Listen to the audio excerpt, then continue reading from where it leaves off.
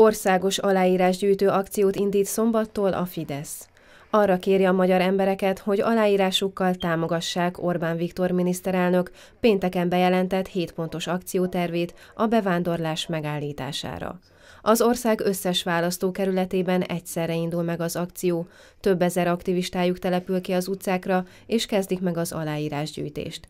Így történt ez Lőrinciben, Rózsaszentmártonban, Ecséden és Hatvanban is. A statisztikai számunk 5600 fő körül mutatkozik, ebből olyan 4500-4600 választópolgár van.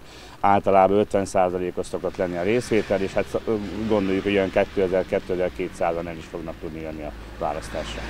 A májusi európai parlamenti választásokon indulni szándékozó pártoknak ajánló éveken kell megszerezniük a 20 ezer érvényes támogatói aláírást. Rózsaszentmártonban Sipos Jánosné, Ecséden pedig Maksa Mátyás polgármesterek személyesen is felkeresik a község lakóit.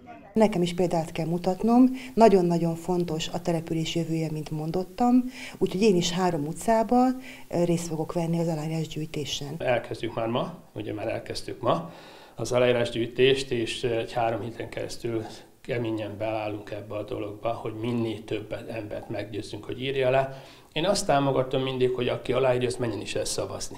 60-ban Szabó Zsolt országgyűlési képviselő a Fidesz aktivistáival vett részt az aláírásgyűjtésben. Ne döntsenek a fejünk fölött Brüsszelbe. Olyan csapatot szeretnénk indítani az Európai Unió parlamenti választásán, aki megvédi a magyar érdekeket és képviseli azokat Brüsszelbe. Ez pedig maga a Fidesz, a Fidesz-KDNP. Ezért tehát aláírásokat gyűjtünk, hogy a Fidesz-KDNP listáját támogassák. Támogassák a 60 támogassák a környéken élők. Van mit féltenünk, vannak értékeink, vannak olyan értékeink, amik évezredesek, és még sok ezer évig itt kell, hogy maradjon. Nekünk fontos a kereszténységünk, fontosak a családjaink, fontos a haza, fontos a szülőföldünk. A pártok április 23-án 16 óráig gyűjthetik össze az induláshoz szükséges 20 ezer ajánlást, és addig jelenthetik be országos listáikat a Nemzeti Választási Bizottságnál.